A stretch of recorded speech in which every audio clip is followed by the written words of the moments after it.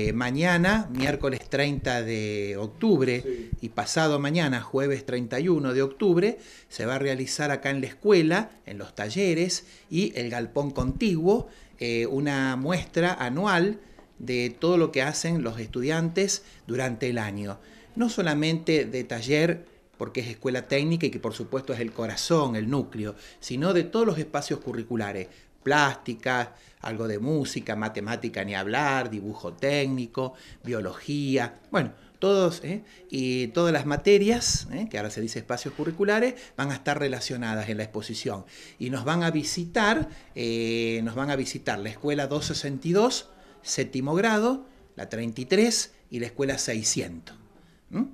Poco mostrar todo lo que hace la escuela durante todos los días del año. Exactamente, ¿eh? Eh, se llama, se viene llamando, se llama Espotecnia. Y ahora puedo anticipar que mi gestión desde el año que viene lo va a institucionalizar.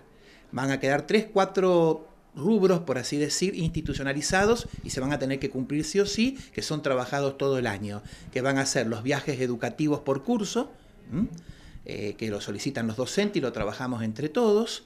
Eh, la muestra se llama Epoteña o se llamará con otro nombre. Vamos a empezar a trabajar a principio de año y tal fecha del año se sabe que hay que hacerla, ¿no es cierto? Y bueno, y capacitaciones y varias cosas más. ¿Esto lo que es eh, es miércoles y jueves para que la gente pueda venir a visitarla? Exacto, la reitero, la Espoteña es mañana miércoles, mañana miércoles 30 de octubre y jueves 31 de octubre en el horario de 8 a 12 y de 13.30 a 18.